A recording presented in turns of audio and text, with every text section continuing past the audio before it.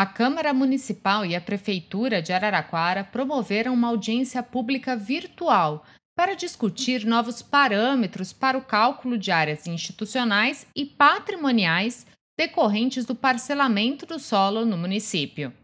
O evento foi conduzido pelo presidente da Câmara, Aloísio Boi, e contou com a participação dos vereadores Edson El, Fabi Virgílio e Rafael De Angeli, e também do vice-presidente do Compua, o professor Cláudio Paiva.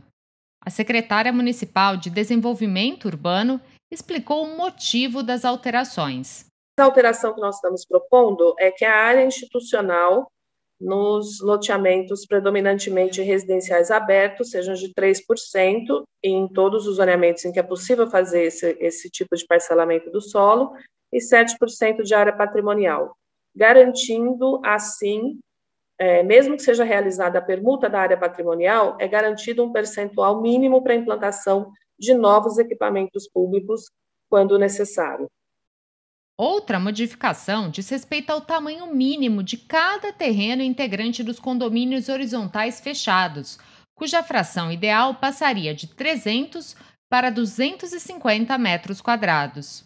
E essa alteração ela permite uma maior diversidade de tipologias habitacionais no município, é esse o objetivo.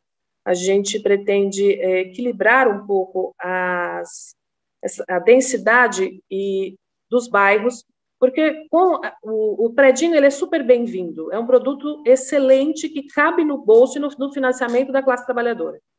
Só que ele gera um impacto de mobilidade urbana, ele gera um impacto na infraestrutura e regiões da cidade que têm uma infra para receber é, empreendimentos horizontais, hoje estão recebendo empreendimentos só verticais. Agora, para que seja colocada em prática, a proposta deve ser apresentada à Câmara para novos estudos e audiência antes da votação no plenário.